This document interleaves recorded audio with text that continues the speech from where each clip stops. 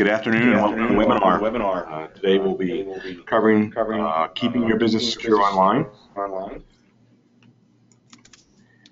Uh, we'll be running our webinar from 12 p.m. to 1 p.m. today. You should hear audio now. If not, uh, please dial in. And uh, more importantly, um, we have an option for some questions in the control panel. You should have a control panel in your screen there for yourselves, and you can uh, jump in with us and uh, ask a few questions. I know a few folks had some difficulty um, getting that second email or this last email from an hour ago, so I'm kind of seeing if people are still logging in here. I just sent another notice on that. But um, I want to welcome you. My name is Dave Kyle. I'm here with Matt. Welcome, Matt. Good afternoon, everybody. We are uh, with Ease Technologies, and we'll be presenting uh, our, our program for you today. If at any time during the program you don't have access to the control panel or have a question, you can easily reach me at dave at easetech.com, and I'll, I'll check on that during the program. So let's quickly talk about our agenda, Matt. Um, want to cover a few things about some uh, cyber threat examples, get into a little bit specifically about social engineering, which is kind of our major topic, and then talk about current small and medium business issues that are surrounding this topic, and most importantly, what you can do uh, to help protect yourself in some of these areas. So many of you are very familiar with a lot of the more known situations from organizations like Home Depot, uh, Microsoft, eBay, Target? What are some of the ones that stand out in your mind, Matt? Yeah, I, I think the uh, Office of Personnel Management, the OPM one, is probably the most current one in the news today. It seems to be getting worse by the day, um, but uh, that certainly has uh, affected a lot of people who not only currently work for the government but have applied for either security clearance or applied to work. So, yeah, I think the, the the total number is up to about 24 million people, and, and, we do this webinar about once every three months, and uh, we always have a story to talk about. Yeah, always always changes. so those are the kind of the the, the bigger uh, cyber attacks and breaches that are out there, and there every there a lot of them too are like Target and Home Depot are, for point of sale systems as well. So it's not just personal information, it's not just uh, financial uh, situations like at a bank. It's actually um, personal and point of sale and a wide range of hacks that are going on out there.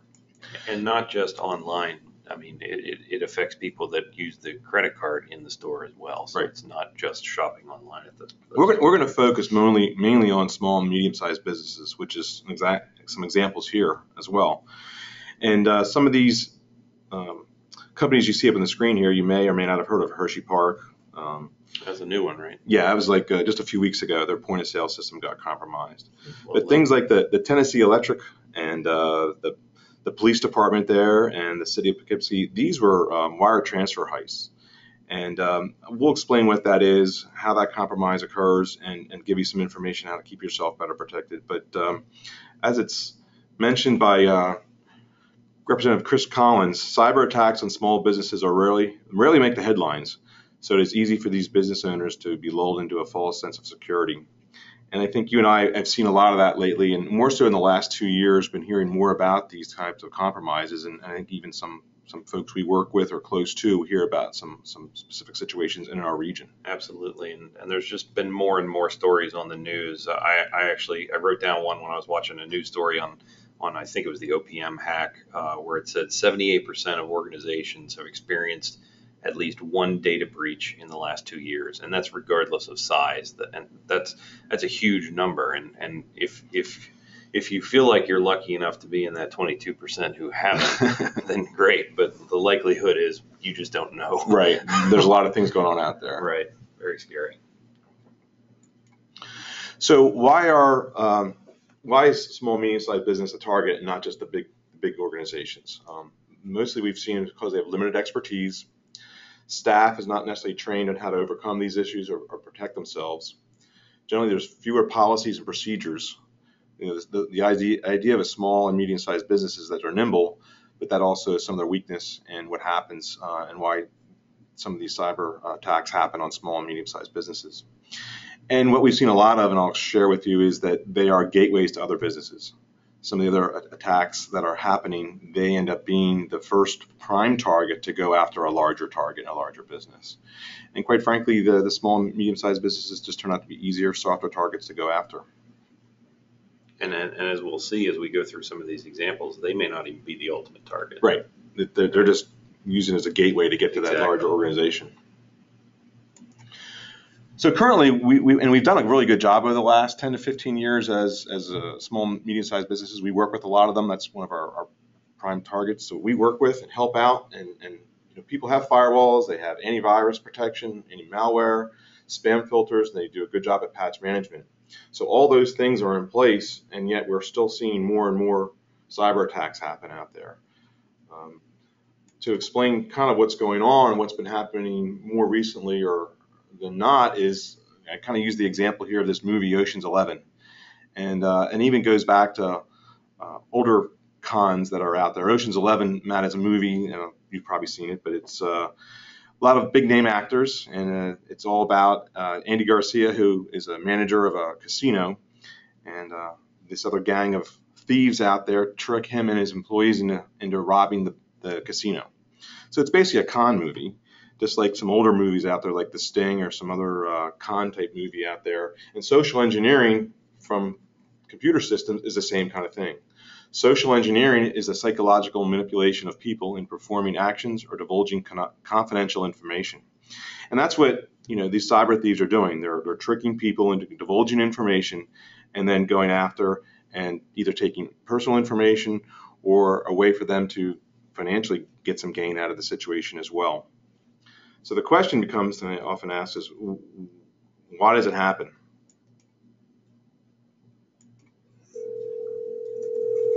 Starbucks. This is. Hi, this is John from the corporate office with Starbucks. Hi, how are you? Oh, pretty good. We, I was just calling. We, we were having problems with uh, people calling in and pretending they're the corporate office, and we just wanted to let you know that if anyone calls in and says they're with the corporate office, just not to give them any information and not to believe them. Okay. Because apparently people have been calling in and you know just just making prank calls. I, I assume. Okay, great. Okay. And, and who's this? I'm- Okay, thanks for letting us know. Sure. Who's this I'm speaking with? And their, your last name? Don. R E M O N T. Okay, and um, what's your employee number, or, or I guess we could look it up by your cell phone number, whatever phone number's on file with us. Um, wait, you just want my partner numbers? Uh, sure. One, three. Okay, but do you have a phone number? Because that, that's the easiest way to look up your file here. Uh, six eight. And, and you remember that part where I, I said uh, I said not to give out personal information to anyone pretending to be the corporate office? Yes. Why'd you just give me all that? I don't know. I, I, I'm I a don't prank know. I'm a prank caller. because That was uh, something I found on YouTube, um, and and kind of shows just how easy it is out there to trick people into divulging information. Um, this particular YouTube movie or, or video that was on there was actually about five or six different Yeah. Conversations that this guy had been doing, calling up Starbucks. if it was only the only example. Yeah. but unfortunately it wasn't. There's quite a few out there. So obviously the phone is one mechanism that uh, people use. We're, and there, there are many other out there. Uh, email is a very common one. We'll, we'll explore that one here in the next 45 minutes.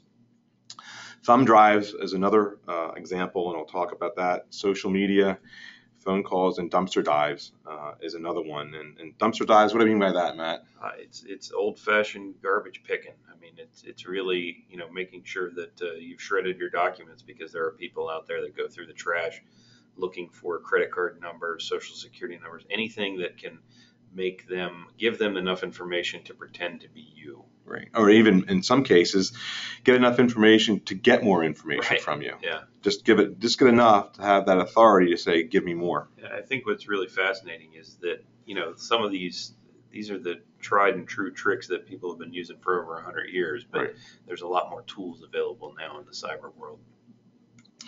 So let's just talk about a few terms, not to get too techy with everyone, but uh, malware is a term will often be used through our conversation, and you should hear about it. And basically, malware is just a broad overwrite, over broad term describing, um, you know, software that is programmed to be hostile towards your computer. You've probably all heard of a virus. That's a little more specific in how it acts and functions on your computer. Spyware is another very specific type of tool that's used. Can't be seen, but it's uh, software that may be installed to watch what you're doing. A keylogger is used one in a lot of wire transfer heists. Again, very specific malware that's used to record your keystrokes. This is very important in a wire transfer heist because they want to record your passwords. And this is what they'll do. They'll install a keylogger onto your, your computer to record keystrokes. Phishing is a term that we use here a lot. It's a very broad term about um, going after people in a way so they can get, gain information from them. There's another term called spear phishing, and that's very targeted approach to going after an individual or organization. So let's get into some examples of what's going on out there. Um, the Stuxnet virus is actually kind of timely this week with the uh, Iran agreement that's been struck. Uh, but the United States and Israel back in 2007 uh, took on Iran's nuclear program through the use of a virus and uh, a worm that they installed on some thumb drives. And what they had done was they installed them on thumb drives and threw them out in the parking lot. So when the employees came to go to work, they picked up the thumb drives, put them in the computer, and the virus was installed into the computer. And at that point, uh, this particular virus was one of the first known uh, physical attacks, not just a software attack, but took the specific hardware that the centrifuges were using to create the uranium that was used for the nuclear uh, centrifuges and actually spun them up about a thousand times faster than they were supposed to operate and then broke the systems themselves. So it was kind of a pretty clever idea. This was this came out about uh, 2010. It was divulged in the uh, I think the Wall Street Journal that this was an attack that the U.S. and Israelis had done. But I just wanted to demonstrate there's many different ways this is accomplished, and it's not just through email. And the lesson here is if you find a thumb drive, yeah. don't go, oh, I wonder what's on this thumb drive. Right. Just throw it away. Yeah, don't don't need it. It's not for you. That's right share another one with you as well. Uh, I kind of like this one was another um, a TED talk that I came across.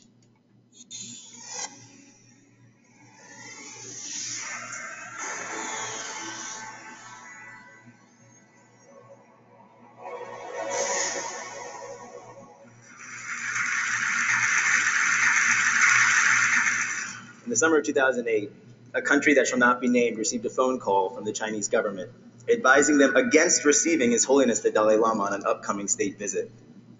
There was only one problem the visit was secret. How could the Chinese have known? Well, the Dalai Lama turned to this team from the Information Warfare Monitor, the best of its kind, to help find the mole and neutralize the threat. And while James Bond had Q, who gave him the laser watch and, of course, the exploding pen, this team had Palantir. We gave them the ability to make sense of vast amounts of data and quickly differentiate between friend and foe. And what they found was truly amazing. The Dalai Lama did have a mole, but it wasn't human. They had been successfully targeted by Chinese spies, cyber spies. Using a technique called spear phishing, the Dalai Lama's computer infrastructure had been infected with a virus that gave the adversary control over their machines. So you may be familiar with phishing. This is the indiscriminate emailing of millions of people in the hopes of getting a few poor suckers to give up their login credentials. Spear phishing, as the name implies, is much more targeted. The adversary will research you, your interests, your friends, your behavior, and craft an email that plausibly comes from someone that you know. This email will have an attachment, a Word doc, or a PDF file. You'll open it, and you'll have been spear phished. The adversary now has control over your computer, which they can use to, for example, turn on your webcam to literally see and hear what you're saying in your office. Send email to anyone as if they were you, and even exfiltrate data right off of your computer, including, as in this case, the Dalai Lama's negotiation position vis-a-vis China, a very useful thing to have if you're the Chinese. Think about how much spy tradecraft has changed. If James Bond wanted to steal a dossier, he'd have to come crashing through the front door in his Aston Martin, wrestle some man-eating worms, break some gorgeous girl's heart, grab the goods, and get rescued by the CIA. These guys literally took the goods while sitting at home in their pajamas. But the already intriguing plot actually thickens. So the good guys, armed with a heroic amount of Red Bull, shaken not stirred, uncovered a vast network of 1,300 computers in 103 countries that had been infected.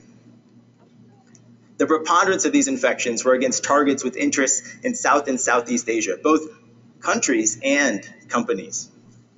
This network, dubbed the GhostNet, had been active for two years and was highly active until the team made its existence public. So, as you can see, the face of espionage has changed. As recent events with Google have highlighted, the adversary targets both countries and companies. for both political and economic gain. Your automated intrusion detection systems and firewalls can't keep them out. The adversary is patient and adaptive, and most importantly, targets the weakest part of your network humans. So the next time you get an email with an attachment, beware. There just might be someone sitting on the other end in their bathrobe, eagerly trying to steal your most sensitive IP. Don't bother calling James Bond. Call in the cyber spies. Thank you.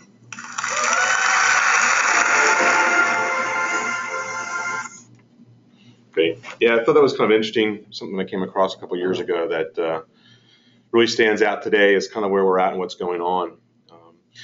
Again, there's many different organizations have many different compromises that are happening to them, but I want to speak specifically to small and medium business threats. Um, the four that stand out that I've seen are bank wire transfers, ransomware, intellectual property, and vendor targets. Um, let's just talk about vendor targets and what I mean by that It's something you, you brought up earlier, Matt, which is kind of something we've seen in the last couple of years where they know the weak point of the network is maybe not the, the group they want to go after. The weak point is, is on the edge. Right. And the edge may be someone they work with. It may be an individual, it may be a vendor. And in this case, it's someone they, they think may be trusted. And the same tactics are used. They'll use some phishing techniques, they'll use some of the mechanisms we saw, and they'll gain access to uh, someone who may be a vendor or another party that go, lets them get in the door to the main target they want to go after. So in the Home Depot one, you familiar with you were familiar with that one, right? Yes. That was essentially the idea that you know one of the vendors that worked at Home Depot had access to the computer systems. They compromised that vendor and then got into the uh, point of sale systems. In the case of the OPM hack, which is just something that happened and announced, um, well, it happened in the last or the last eight or nine months, but it was announced in the last month is that you know 24 million user uh, accounts were compromised uh, out of the Office of Personnel Management. What ended up happening was those servers were being hosted in the Department of Interior. They were in OPM wasn't even hosting their own servers, and they targeted the uh, Department of Interior and through a couple different mechanisms and techniques, they got into those databases that were over in the Department of Interior, then ultimately got them in, into the, the OPM databases. So again, I think one, one thing to just point out here, which we've kind of talked about, but not directly, is that the, the examples that we keep talking about are, are nation states. These Right. aren't, these aren't just, you know, kids in their, in their, in their house trying to steal from Right. people. These are actual countries that are, that are behind this now. So it makes it even that much harder. right? The the financial ones seem to be they seem to have their own flavor. Yes. Okay. Okay. There's that too. Yeah. and again, we're just going through what we've been reading, what we've been researching, and, and particularly going after the last two or three years and, and kind of getting deeper into what's going on with some of this. Um, and we do it a little bit ourselves too, but uh, we have some adversaries that come after us directly in some ways. Sure. Uh, medium-sized businesses have a couple countries that are very specific about targeting th- those size organizations and their approach. Um, I'm going to switch over to ransomware, and, and you may have heard about this particular type of malware attack. Uh, It's called ransomware. It's particular software. It's called CryptoLocker or CryptoWall. It was started about uh, almost two years ago, where it came out of Ukraine, where a package of malware was created that ends up through a phishing attack. It encrypts your hard drive. You get this message that you see up on the screen, and it tells you that you know you need to pay this particular uh, bank thir- thir- only three hundred dollars, and they'll unencrypt your hard drive. Now, we've, I just read an article that forty percent of everyone's been paying the money. So basically, Really? yeah, pretty high number. That is much higher than I expected. Yeah, they figure they're getting about thirty million dollars every three months. And about, about zero percent of those people got, actually got the key. Uh, I don't don't know that answer, but the problem is is that like you said, even if you pay the money, there's no guarantee that your hard drive will then become unencrypted. Right. So the way we end up having to solve this is we have to wipe someone's hard drive completely and go to a backup and restore what they've had. Uh, and there's some real complications with this. Um, the, the, the CryptoLocker malware itself sometimes lays in wait for several days. Um, we can re- extract some information when we have to go through a hard drive. We can't necessarily get it all. We, Um, we, we have to find the date before that malware was in, in, installed on that computer. Right. So you've got to make sure that your backups are good for maybe, maybe several weeks. Right. So it's, it's really critical to have that good backup disaster recovery solution in place. And, and this is probably a good point to explain kind of why and how some of these things happen. Um, you know, again, people use malware, you know, protection, you know, have firewalls, all these tools out there to help keep themselves protected, and still these things get through. To kind of try to make it brief, is basically there are exploits that are uncovered, and those exploits are sometimes then announced, and um, they're announced to the public. The software developers know about them, and they start trying to work and create a fix. And that's where you see security patches, security updates come out. But during that time, there's a window that's left open. And it could be hours, days, and in some cases, weeks, where the software developers don't patch those exploits that are, are openly disclosed. That's when the cyber hackers come in and through phishing attacks, typically, they'll push out a bunch of emails with malware attached and get through the door that way through social engineering techniques. So, you know, you may have really good patch management, updates being done, things like that. This is where the social engineering tactics are being used to push themselves through onto your computer and install these keyloggers and other Right. malware to get into your system. And it only takes one person to make a mistake Right. to compromise a whole organization. Right. So it's really critical. It's, it's critical just to educate people about this to make sure that, you know, they're verifying before they're acting. Um, let's talk about another example. This is again a larger organization, but it shows you kind of the steps that happened here. This was a board member at Alcoa. Uh, his email was uh, compromised. He was going to be attending a meeting, so um, there was an email sent out with the agenda attachment for an upcoming meeting. And in that agenda attachment was actually malware. This got sent out to about 24 people. He was trusted, so the email was opened the malware attachment, which was thought to be a, uh, I think, a presentation, was downloaded, and then a whole bunch of executives had their computers compromised. At that point, the malware then did some other things and spread out through the Alcoa network. And um, the, the goal in this particular situation was uh, the Chinese had used this to uh, go after Alcoa and understand some more intellectual property about how they make steel. And this happened about a year ago. Again, just showing some of the techniques that are going on out there. Going back to a medium-sized business, uh, there's a certain uh, tactic that's being used in the last year called a masquerade attack. And what's going on is there's an impersonation of an executive, either a CFO or a CEO of a company, targeting the finance department, where they use a combination of email and a phone call. They create a sense of urgency to obtain access to get a wire transfer sent out. So what they do is they, again, spoof an email from uh, an individual, the, the president, CEO, or the CFO of the company. It goes to the finance department, and then a phone call comes in shortly thereafter and says, Hi, this is the president of the company. You just received an email from me. I'd like you to make sure you act on that wire transfer immediately. And in a medium sized company, they may not know some of these people that are getting those emails from or the phone call. And because the phone, phone call was there, the email was there, they're going to act accordingly. And there's been multiple instances weekly by the FBI reporting that this masquerading attack is going on, and medium-sized businesses are sending out thirty, fifty thousand dollars to the banks in the Caribbean. And we've actually seen this with a couple clients quite recently, um, where they're, they, you know, people are using the internet to, to look up companies and organizations to find out the structure of the leadership. So once they do that, then they can create a spoofed email account. Right. They learn the, the way the emails are set up. Um, so we, we have asked our clients to, to make sure that they put in some kind of check, even if it's a, you know, a phone call or two signatures before money can be released, Right. that sort of thing, to help alleviate some of that. Here's kind of an example of that happening. Um, you've probably all heard about the Anthem attack, and, and more locally, the CareFirst uh, cyber cyber attack, where um, this was a spear phishing situation where these three healthcare organizations, probably I think it's pretty close to 90 million people, were compromised in the situation. Um, personal information was obtained. Some of these hacks uh, obtained social security numbers. Some of them did not. But the technique that was used here was uh, spoofed domain names. So you'll see here that I have care first written on the second bullet item, but it's care first with an exclamation point. What these, um, and again, they're pointing back to the Chinese on this one. It doesn't really matter what country it's from. It's just this is where they're originating. Um, this particular case is they created spoofed uh, sites using you know domain names that weren't real but close enough that when the emails went out people logged in and gave their authentication information thinking it was the uh, the real name of the organization. So Anthem, Premera, and CareFirst, they looked on some of the records. There was probably 20 to 30 different spoofed um, domain names that were out there uh, that the fo- fake websites were created, and then you know authentications and credentials were cre- um, gathered in that manner. Let's take a look at some of these emails that are used in this manner. Um, this is one I, I gathered a few. We all get them. I screen captured a few of them here for us.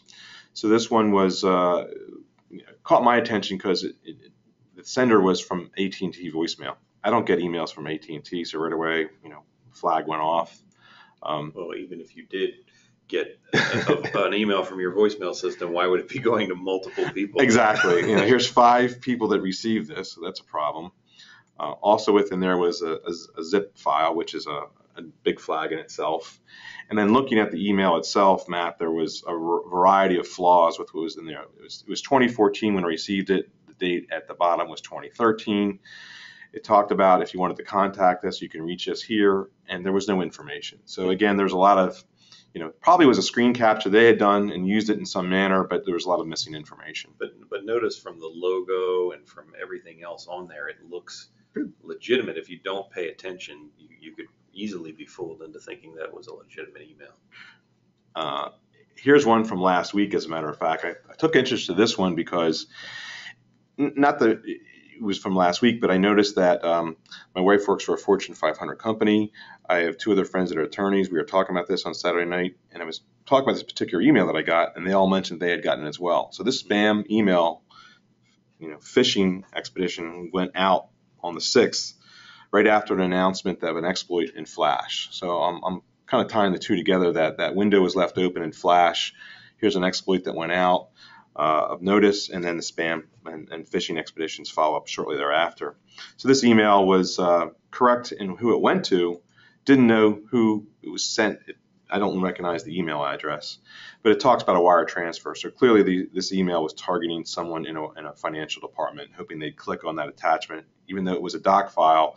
It probably wasn't a doc file; it was an attachment of some type that contained malware.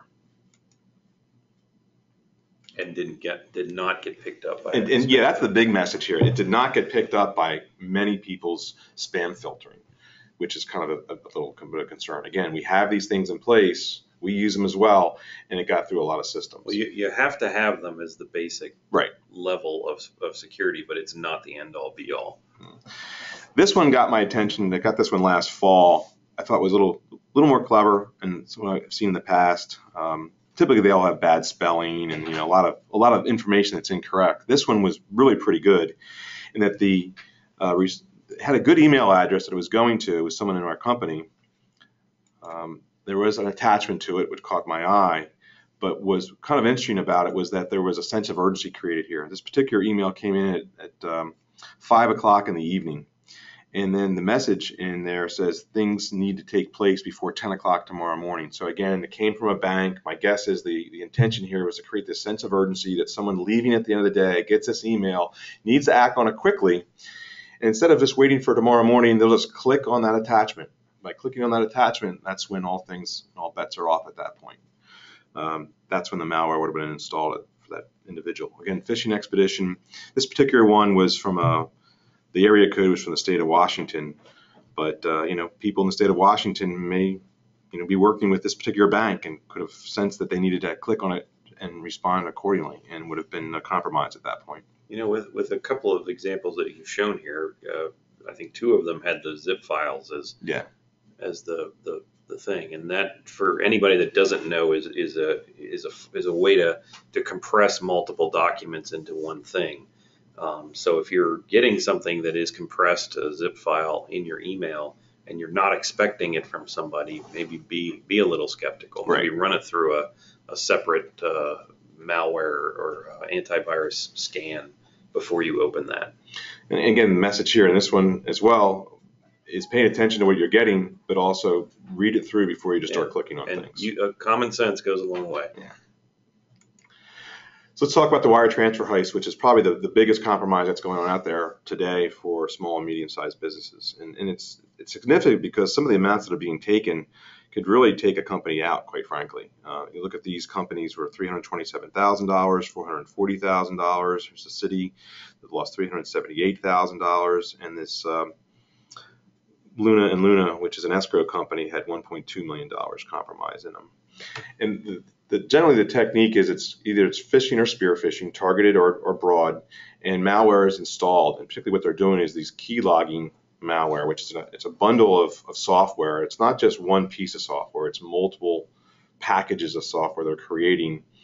Um, they sometimes buy these on the black market. They don't write their own code, and they assemble them and then put them in a package and, and, and go after it uh, in that manner. So let's talk about a wire transfer heist. Let's talk about this particular organization. It was a hospital out in uh, Washington, and what happened to them. They kind of dissected the situation, so we have some details. So hackers first started off by creating a relationship and hired a bunch of home workers in the state of California. They hired about 100 individuals to work from home, claiming they were going to pay them. In doing so, for them to get paid, they needed to establish a banking wire transfer system between the company and the home workers. Obviously, they didn't divulge themselves as being hackers. They had a, Right. a fake company, but they now had a wire transfer system in place to transfer money between home workers and the company they established. And those home workers feel like they're working for a legitimate company. Right. They So- figured they're going to get, Right. you know, may have gotten laid off, Right. needed some money, wanted to work from home. Sure. Great, have an opportunity to do that. Next, the hackers identified either through um, spear phishing or phishing tactics, they wanted to go after uh, certain organizations. They uh, created their malware and then established that malware in the hospital. In this case, they uh, were able to uh, strike at the hospital by installing uh, keyloggers. Again, those malware that would record the keystrokes in the financial department. Once that was done, they gained access and had all the information they needed to do to get into the U.S. banks. Once completed there, they started transferring small amounts of money. And this is another important flag to look for. About 10 to 50 dollars was the initial flags that went off. And uh, that's a, a really important one to watch out for. You can get this far. When you start seeing small transactions of 10 or 50 dollars going through outside your the banking system, they don't know where it's going. It's a big flag to look, look for what's going on next. Then, the course of the weekend, uh, the next steps took place, which is the money was then transferred. There's about 1.2 million dollars uh, that got uh, taken from the hospital. That was sent to these home workers in $10,000 increments, and then went to Ukrainian banks. Um, so it was an elaborate con here and scheme, and well thought out. Took many months to do, but you know they found a way for themselves to get their hands on about 1.2 million dollars. And, and just like the gentleman in the TED Talk described, these people are, are patient and in for the long play. This is a perfect example of that. This is this is something that happens over a, a large amount of time, and and like Dave just described, seeing those small transactions early gives you the ability to question them, put a freeze on accounts, and really start putting some things in place that just to stop that. Some of the point of sale system compromises that we've seen with like Target and some of the other ones uh, where they've stolen credit card numbers, they're doing the same type of thing. They're Mhm. they're they're testing the credit card numbers Yep. that, that they buy with very small transactions, maybe sometimes as low as five dollars, just to see if they're legitimate numbers that will go through and work. And once they've established that, then Right. then sky's the limit. So let's talk about some lessons learned in some of these situations. So you have some important information you can take back to your your, your office or even for yourself personally. In the case of the wire uh, bank wire transfer heist, uh, one of the things that really comes out and stands out as a, as a best practice to follow is make sure you're using a dedica- dedicated banking computer. What I mean by that is using a computer that doesn't have an email attached to it at all. All right, so don't use Outlook on this computer. All its sole purpose is is to access your bank um, you know, even to the point where maybe it's a Macintosh computer or something that's not as easily compromised. Um, having good password policies, which we'll share with you in a minute. Make sure you have clear bank transfer notices and working with your bank on that. Looking for those small transactions that I explained to you, and then also, as Matt described, these can be long plays. So being careful and diligent every day as to what's going on with those notices, you'll have a better understanding and be better equipped to understand what's happening there. Yeah. And um, before we get into the password policies, there there is uh, some new things that I've personally been seeing both at my home and, and my wife's office uh, in terms of a new method that people are using is we've been getting phone calls uh, that claim to be they're from Microsoft um, and they know that we have uh, a a virus that are on our computer and they want us to log into a specific website so they can help clean us, uh, clean the computer off. And then alternatively, we've gotten calls that claim to be, uh, you know, uh, have warrants out for arrests or money owed. And we, you know, again, they're trying to create that sense of urgency to make you do something that you wouldn't do. And what I, what I tell clients all the time is Microsoft is never going to call you, ever. Nor, Tell- nor the Windows company Nor either. Windows, nor Apple, nor, and no one is going to call you at your business and tell you that there's a problem with your machine. Right. Unless it's your IT vendor that you know and you recognize their voice. Right. Don't trust them. Right. So this is the, the, the big compromise that they go after and what they want to obtain from you is the password information that you have to get into the accounts they need to get to. So by following some of these policies, you're going to help mitigate the circumstances that are empowering them to get to the information they want. So the first one is that you make sure you're using long, complex passwords. I have an example of one up there on the screen. The two most common passwords that are still used out there by uh, everyone is uh, password and one, two, three, four, five, six. No, not change me. No, That's probably three. that's maybe that's three. Um, the next is make sure you're using uh, passwords that are different between sites. Don't use the same password you use on Facebook that you use in your bank. Uh, and it seems obvious, but again, it, it's it's really important that you use different passwords on different sites. Can't emphasize that enough because oftentimes what they're doing is they're taking the passwords they're obtaining in databases and they're keeping records of who they have, emails and passwords, and using them later on. There's been a couple situations where that's been uncovered. I think it was an Apple hack that happened that they um, that Apple wasn't compromised, but the data and information from another website or another um, password and email combination was used to get into Apple because they had that data from some, another hack. And I believe it was a very simple password. Right. And uh, frequent password changes. So if you're using banking information, you got to change your password three, every three months, every six months. But you know, every year I go through and I look through my email and my passwords and make sure I've made some changes here along the way. One thing I've read recently, and we don't have it on here, is a lot of people, and I, I've done this myself, is uh, you, you use words and may, you may change the, the A to an at symbol Right. or an E to a three. Uh, well, those are apparently very much easier to crack than, than something that doesn't, you know, translate into Right. a word visually. So So nonsensical words. are the best. nonsensical, nonsensical words. Well put. Um, we'll talk about a password manager in a second because as we're suggesting all this, you know, we, many of us have, and I know I have about 140 different passwords that I'm using. I can't remember them all, and they uh, are daunting to keep up with. So you need a tool to help you manage these passwords. We'll share some ideas for you on that. I, I could not live without a password manager at this point. It's too, there's too many.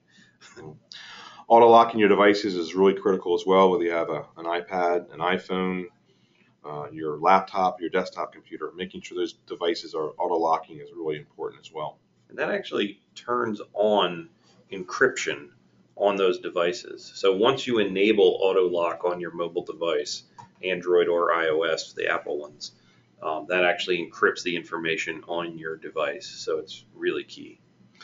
Another uh, important thing to consider, and I know some of the banks are starting to do this now, is uh, using two-factor authentication. And we'll talk about that in our next slide.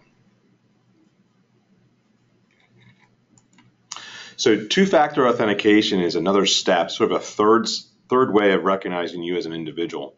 So you have something that you know is your password, something you may have, maybe your phone, is an extra code that you can have sent to you. Um, you know, you may have seen these RSA token generators on the screen up there that many enterprise companies use, and it's a specific number that comes across that you have to type in to get access to the network. Well, many software companies provide what are called two-factor or multi-factor authentication methods through this way of sending a text message to your phone once you establish a relationship with them. So for working with Google Mail, very simple example, you can go into Google and turn on multi-factor authentication. You establish that your phone is your phone, and anytime you want, not anytime, but when you first start using your phone, it'll or any other device, it'll want to have an, an extra factor of authentication, not just your name and password. It'll send you a text message to use that device to gain access to your account. And the nice thing is the code that, that they send you will expire after like 30 seconds. So once that's gone, then, you know, somebody can't get into your account or they would need to, they would need to regenerate that code through your phone before you can get back into that system. Let's talk about password managers. So, Matt, you're using one, I'm using one as well. And But I have a, the last bullet item there are two that we're using right now uh, that I'm familiar with. One is called 1Password. And basically what it allows me to do is keep s- uh, on my iPhone, my iPad, and my Macintosh computer, I can keep uh, my passwords all managed from one spot. Uh, one of the first questions comes up, well, is that safe?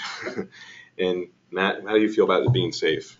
I mean, it's reasonably safe. The, I, I use 1Password as well, and the, uh, the, the, the key where it contains the database that has all the passwords in it is actually encrypted itself. I keep it, uh, within Dropbox so I can sync it between all those devices.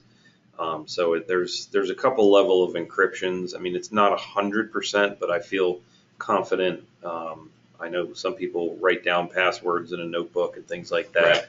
Um, you know, there, there's always some way for somebody to break in and get them. So, uh, whether it's paper, whether it's electronic, you're never 100% secure. But I feel pretty good about about these products. Right. I, I, I, do as well. Investigated this thoroughly. I know 1Password's a very good product. Um, you know, And I, I can't live without it. right. anymore. You know, I actually have like two or three different emails and use them for different accounts depending on whether it's personal or business.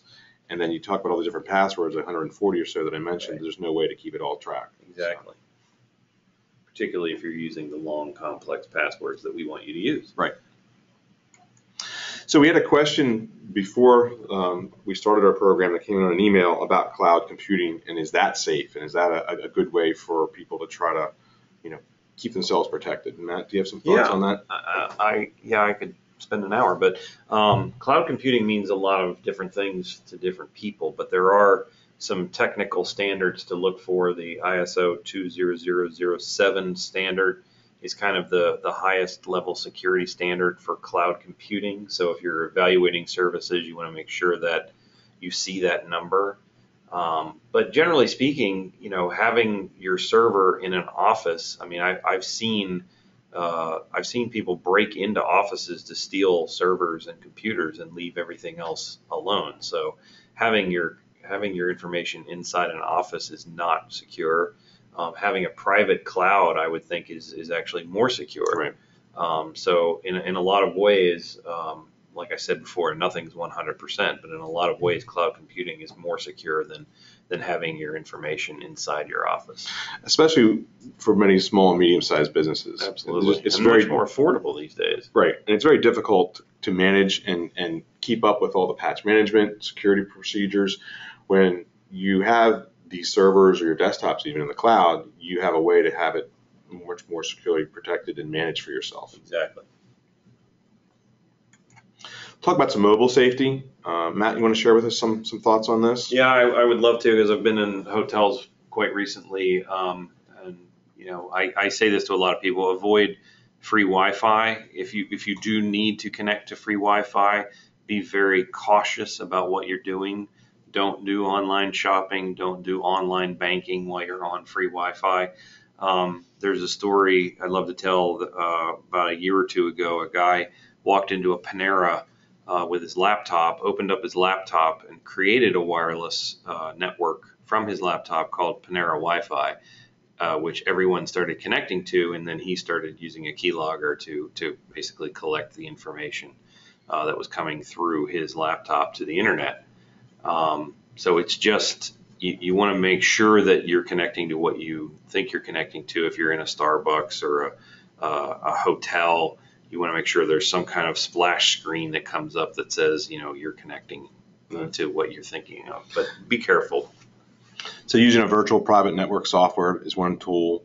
We have another suggestion too, which is you know um, a tool which is called a software which is called Find My iPhone.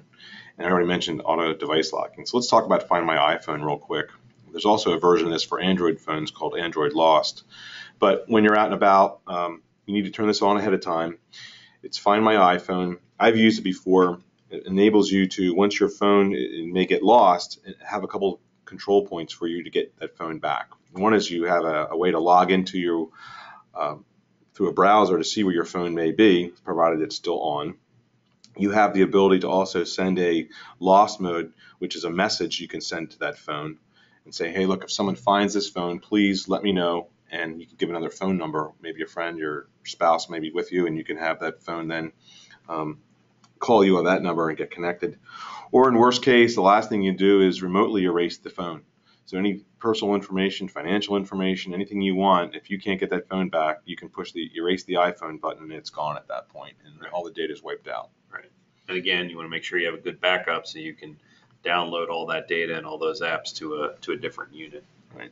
But this is this is critical. We've actually recovered clients lost iPads before by using this. Yeah. So it's not only is it is it a security feature, but it also can save your save your device. Yeah, I, I lost my iPhone on the golf course uh, about a month ago. It was two months ago, and uh, I did use my friend's iPhone. It was it was with me in the cart, and I typed in, "Hey, give us a call on this number." And a few more holes later, someone found my iPhone and called me. So Nice. it does work. Yep. Some analog safety we'd like to talk about, kind of revisiting the, the dumpster dive conversation we talked about earlier. Uh, again, watching out for phones, shredding as much information as you can. And then just let me jump in. There's there's actually a cross-cut shredder, so it doesn't just shred in uh, vertical lines. It actually cuts uh, diagonally in both directions, which apparently is the safest way to shred a document so that somebody can't put that information back together. Uh, there, people are very patient. Yeah.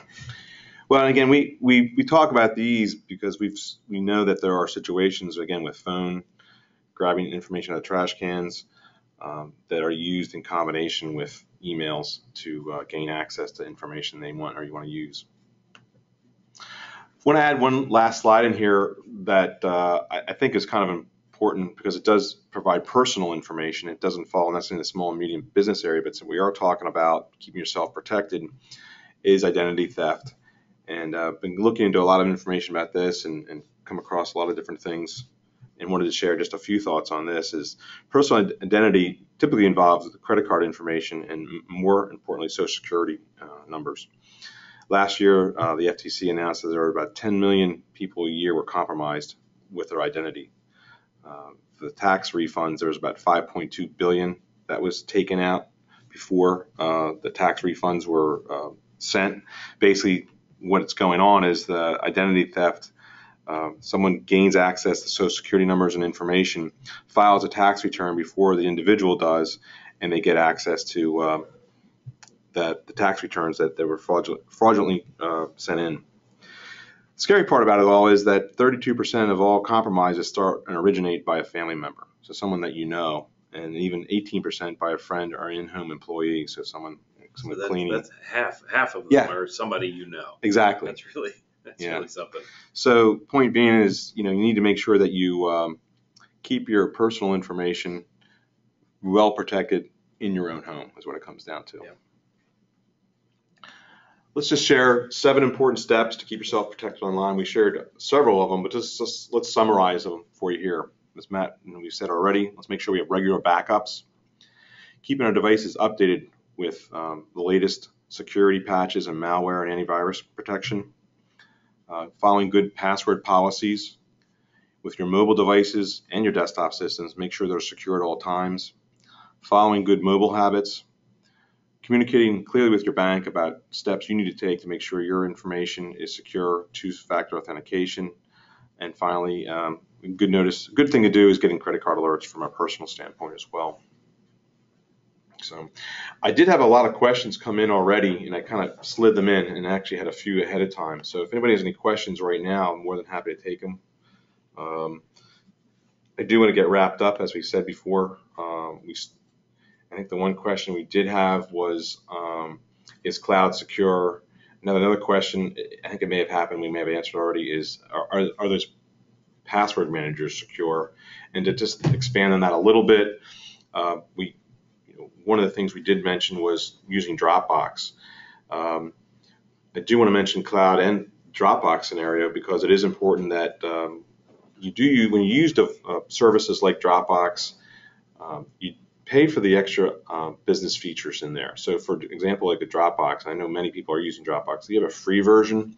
Not that it's insecure, it's just that the professional paid version is more secure. And I think it's about $9 a month, I think, Matt. Yeah, I think so. And it, it just gives you more features in terms of being able to secure your data. So if even if you have an employee that leaves or you have to fire Right. um, for whatever reason, you have the ability to pull back that data that's on their device or on their computer. So it, it, it is, I mean, that that's security too. I mean, Right. like we just said, 50% are people that we know, and some of them could be people that, you know, we need to let go in our organization. So Right. you want to make sure you have those tools available. Um, great. Just want to share with you again, um, we are at Ease Technologies. We are founded in 1993. We're based out of Columbia. We provide IT services and secure cloud solutions to small and medium-sized businesses in the region. Um, please feel free to check us out on our website. And I want to announce with you our next webinar in August will be August 26th, where we'll be sharing a very similar format. We'll be talking about um, productivity tips for using your iPads and iPhones in business. I'll be sending out some email invites for everyone who's attended this event, but you're more than welcome to share that and invite your other business associates as well. And uh, just want to thank everyone for attending today. If you have any other questions, I did see there there's some people had some issues trying to get in and log on. Um, I'll, we did record this. I'll send out the um, uh, information about the recording. I'll share it with everyone. I see there's another question came in. Um, the question is, the security, the secretary in our office surfs the net all day. Would this be a risk for our company? The answer would be yes. Yeah, Um, you don't know where that secretary is going, what they're clicking on. Uh, so yes, it could be. yeah, most of the compromises um, come in from people who are least informed about how to deal with things. Mhm. And, um, you know, it's not just the, the CIO, CEO they're going after, they're going after anybody they can get to, like in the situation of the Dalai Lama, they're going to get to somebody close to them, Right. gain access, and then they're going to get to what they need to by a weaker point of entry. Right. So, So we, we have clients that we, we use a, a cloud uh, service for that have completely eliminated their employees' ability to get to the web. So all they can do is, is work on what they need to work on. And, and obviously you can lock that down as much as you want or open it up as much as you want. It depends on your situation. Yeah, and there's also ways too, and again, with some of the cloud services, you can separate them. They can be in a similar space, but also be secure in some Exactly. aspects too. Yep. Um, you can read, if any other questions, please send them to dave at easetech.com. Have a blog that we uh, do share with everyone with a lot of other tech tips. You'll be receiving an email uh, with a survey that we'll be asking for some feedback about our webinar. As I mentioned, this has been recorded, and I'll share a link for you with that as well. So again, I want to thank you very much for joining us today, and um, catch you hopefully next month. Thanks, everybody.